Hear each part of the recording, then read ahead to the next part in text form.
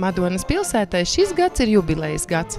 Jūnija sākumā tā svinēs sev 90. dzimšanas dienu, taču jau šobrīd tiek rīkoti pirmie jubilejas ieskaņas koncerti. Madonas kultūras nama kolektīvi, eh, mūsu daudzskaitlīgo eh, pagastu iedzīvotājus ar, ar tādu saudabīgu um, priekšnesumu ielūgumu aicina uz pilsētas 90 gadu jubileju. Ļoti gribam dalīties ar saviem novada ļaudīm, jo nenoliedzami katrs novada iedzīvotājs ir saistīts ar centru, ar Madonu, vai te kāds strādā, vai iet skolā, vai muzikas skola, kultūras nams, ja kādas iestādes pašvaldības ir saistīts cilvēks. Un tāpēc mūsu ideja ir braukt un ielūgt katru no šiem iedzīvotājiem tīri ar savu klātbūtni. Pirmais ielūguma koncerts aizvadītajā sestdienā tika sniegts Barkavas puses ļaudīm. 14 pagasti, 14 koncerti, un uh, šodien, piemēram, mēs braucam veselās divās vietās uzreiz ar veselu komandu, ar vienu koncertu, pūtēji,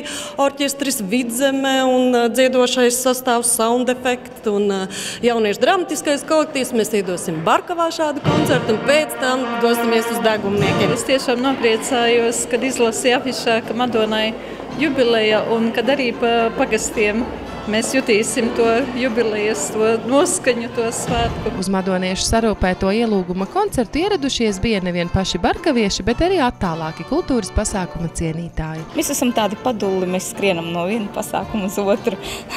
Kas ir tas, kas uzrunāja, lai jūs šodien šeit brauktu? Uh, nu, gan pūtēji, gan dejotāji, vienkārši pašdarbnieki. Patīk gan, gan dejotāji, gan dziedātāji, gan teātris spēlētāji. Nu, tā. Visu sal saliekam pa sarakstiņu un tad cenšamies uh, apskraidīt. Būdami aktīvi pasākumu apmeklētāji, Gaida un Jānis ievērojuši arī kādu nevisai pozitīvu iezīmi. Braucot pa šiem daudziem pasākumiem, ko mēs jūtam, ka uh, nav, atsauc, nav atsaucība no cilvēkiem. Teiksim, teātris skats, kad var noskatīties divus, trīs un pat vairāk teātrus, nemaksājot neko, cilvēku nav. Bet cerēsim, ka šodien šeit būs. Mm, cerēsim, jā, cerēsim.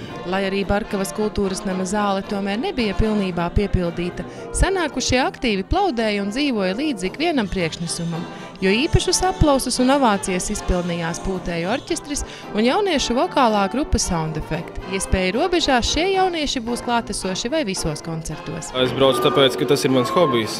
Tā ir mana sirds, ko es dodu cilvēkiem. Tās ir dziesmas, kurās es saskatu kaut ko, kas varētu būt saistīts ar mani, kas man pašam patīk, liekas tūs, un kas varbūt kādam citam cilvēkam arī liekas, jā, tas ir par mani, tad tas viens vārds iederas, un tas arī man patīk un aizķeras. Pārsvarā visas dziesmas par mīlestību, par prieku, un tas ir tas, ko es cilvēkiem sniedzu. Ne tikai prieku un mīlestību, bet arī vēl nebijušas aktivitātes sola arī pati svētku kulminācija jūnija sākumā. Liela jubileja, tas ir padarītā darba atskaites gads un laiks.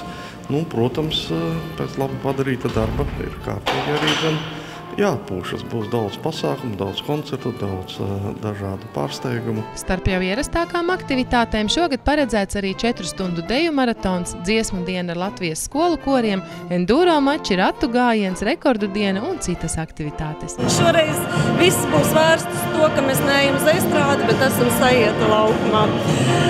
Pārsvarā visas norises, jo pagaidām mūsu estrāde ir tāda, kurai ļoti ir vajadzīgs remonts. Un arī pirmkārt tas, ka liekas, ka tuvāk cilvēkiem, kad viss centrs dzīvo, šumējās, dara, un lai tas notiek šoreiz varbūt savādāk. Tieši ar domu, lai svētkos piederīgs justos ik viens novada cilvēks, tapus ideja par nu pat iesāktajiem ielūguma koncertiem. Kultūra dzīve novadā ļoti ražana gan pilsētā, gan pagastos.